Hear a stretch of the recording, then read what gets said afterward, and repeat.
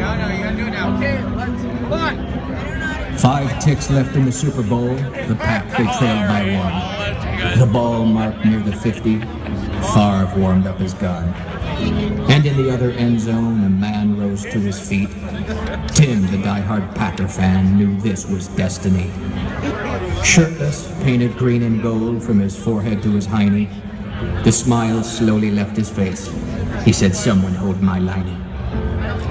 He wet his finger, felt the air, a headwind turned their way.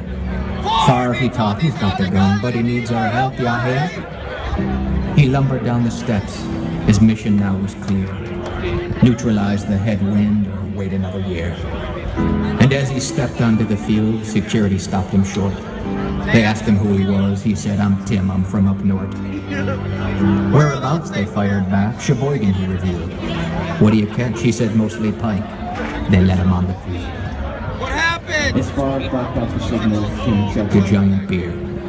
And then another, and one after that, as tension filled the air. The ball was snapped, the route was run. Favre unleashed the ball. Never had there been a spiral so clean and far and tall. But then it hit the headwind and started coming back. Tim felt a rumble in his gut. Now was time to act. The burp came out so long and hard, the Yukon felt a breeze.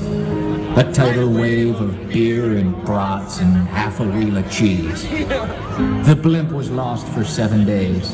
Skybox glass was shattered. An Oshkosh woman lost her teeth. Tim's stomach left in tatters. But the pass came down, the catch was made, and just before Tim died, he was heard to say, the. Oh, for cry out loud. His headstone reads, Tim gave his life. Never did he wince. He tailgates high above old Lambeau, grilling brats with Vince.